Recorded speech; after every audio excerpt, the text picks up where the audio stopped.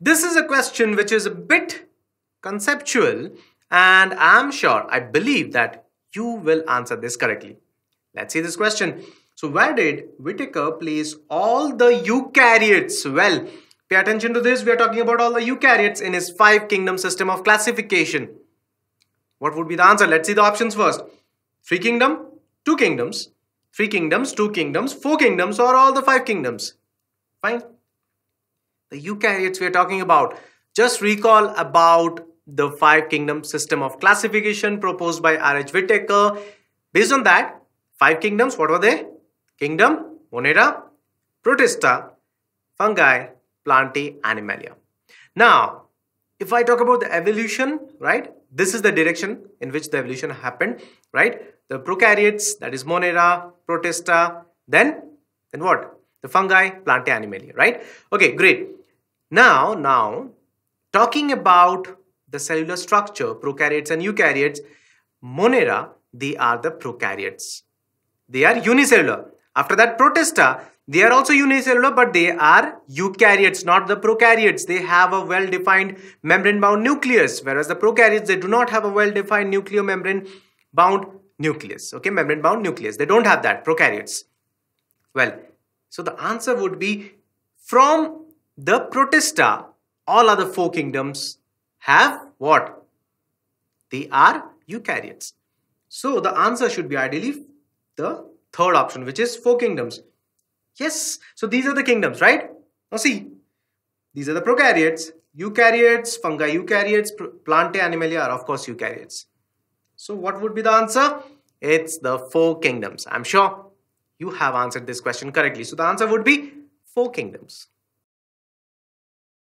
Let us see if we can solve this particular question. And it's a very important question because here we are going to talk about some important terms and concepts. Let's see the process by which a virus brings about genetic variation in bacteria. Well, a virus brings about genetic variation in bacteria. Let's see the options. The options are A. Binary fission, transformation, transduction, conjugation. Well, some new terms.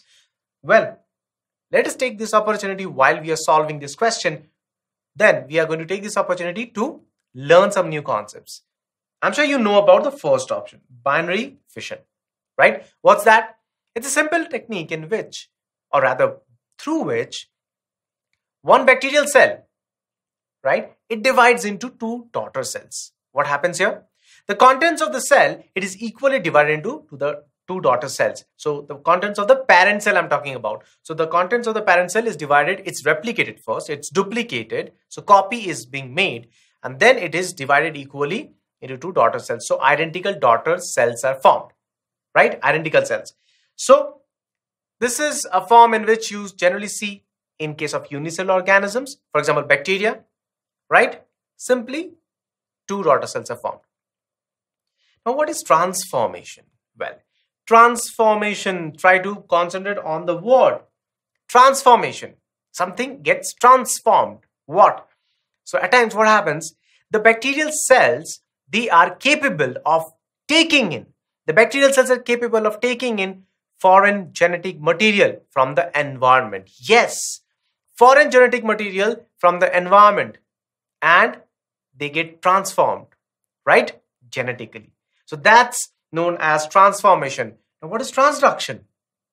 I'll tell you. Transduction is a very important process. You know what happens here? A genetic material is inserted into a bacterial cell. Bacterial cell through what? Through a virus, a bacteriophage. So through the bacteriophage, the genetic material is injected into the bacterial cell. Right? Now, what is conjugation? It's a simple process which is similar to that of the sexual reproduction, but actually it is known as parasexuality, right? What happens here? The gene transfer happens. So some of the genes which are present in one cell is transferred to the other cell by simple cell to cell contact. And this happens through a tube which is established between the two cells and that tube is known as the conjugation tube. Fine. Well, let me show you the important answer to this question and that's what? Have you guessed it out? So the process by which a virus brings about genetic variation in bacteria is, it's this. It's transduction. Take a close look what is happening over here. Pay attention to this thing. See, see what happens? This is the virus. It has inserted the genetic material. The genetic material, see what happens here. The genetic material is getting integrated. Yes, it has got integrated by replacing a part of the genome of the bacterial cells, right? So, you understand this is known as transduction. That means now the bacterial cell will have the genes of the virus. It has trans. So, some sort of change in the genetic material has happened, right? Let's see. So, this is the question process by which virus brings about genetic variation in bacteria would be transduction. Yes, we are right. So transduction is the process where a foreign gene is inserted into the bacterial cell by a bacteriophage. That's a virus. Now, bacterial transformation, as we discussed, is a process of gene transfer by which some bacteria take up foreign gene, foreign genetic material because what? Why are we calling it as foreign genetic material? Because that genetic material is not a part of the genome, part of the genetic material of that bacteria. Fine? So again, once more, I'll repeat. Why foreign genetic material? Why are we calling it as foreign genetic material? Because this genetic material is not actually a part of the genetic material which is there originally in the bacteria. So it's foreign.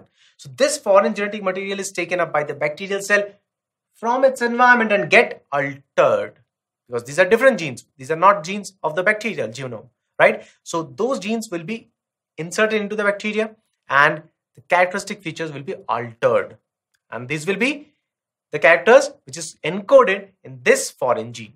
Yes, so it's called transformation. Now conjugation is a transfer of genetic material between two bacterial cells due to cell-to-cell contact and this is through the conjugation tube. The genes are transferred. Fine? Okay. And binary fission, that's easy, you know, is a process of asexual reproduction in which the bacterium divides into two daughter cells. Well, so this was a pretty important question. Here you learned some important terms. Transduction, transformation and conjugation. And the answer to this question is transduction. If you are following my sessions, then this question is really very, very easy for you. The capsid is made up of, capsid means I'm talking about, you know the topic we are discussing, right? So capsid means I'm talking about the viruses. It is made up of lipids, proteins, polysaccharides, fatty acids and the right answer would be what? Proteins. Yes? Well, I'm sure you can answer this correctly. Proteins is the right answer. So the capsid is the protein shell or the protein coat of the virus that encloses and protects the nucleic acid. And this nucleic acid can be either DNA or RNA and never both. The capsid is made up of small subunits called the capsomeres and these capsomeres are generally arranged in a helical polyhedral geometric forms to form this capsid, which is the protein coat. Well, very easy. Proteins will be the right answer for this question. Let us try to solve this problem. Which among the following is a phosphate solubilizing symbiotic association? Well, see the options. Pseudomonas. It's incorrect. It do, it does not show it do not show any symbiotic relationship, but they are known to cause infection, so it is incorrect. Rhizobium it's a nitrogen fixing bacteria. They do show symbiotic relationship with members of the leguminous plants. The legumes, they convert atmospheric nitrogen. These are bacteria, you know. These convert atmospheric nitrogen into usable forms like the nitrates and the nitrites. These can be used by the plants. This is known as the nitrogen fixation. It's incorrect. Mycorrhiza will be the correct answer. Well, it's a symbiotic association with the roots of certain plants. I'll tell you. Azolla. This is again incorrect. It's a plant that forms symbiotic relationship with cyanobacterium. Now moving to this rhizobium. Take a look here. Okay. This is rhizobium. Mycorrhiza is the correct answer. Let's see. Mycorrhiza is a symbiotic association of the fungi with plants like the pinus of the gymnosperms. Okay. So here these fungi are capable of mobilizing inorganic phosphates present in the soil. They have been absorbing these phosphate. They have been mobilizing these inorganic phosphates in the soil and supply it to the plants. This is a source of phosphorus for the plants. Fine. Pseudomonas do not have a symbiotic relationship, but they are known to cause infections. Rhizobium, I told you, nitrogen fixing bacteria. Symbiotic association with the legumes. Azolla is a plant that forms a symbiotic relationship with the cyanobacterium Anabaena azollae, which helps in nitrogen fixation. Okay, great. So, mycorrhiza is the correct answer for this question. Can we solve this question? Creutzfeldt-Jakob disease, CJD, is a disorder in humans caused by misfolded proteins, prions, prions, right? That affect what? The brain. The first option is the correct answer. Yes, they affect the brain. Let's see. Yes. So CJD is a degenerative brain disorder caused by abnormal infectious proteins. Fine. So it causes the brain cells to degenerate.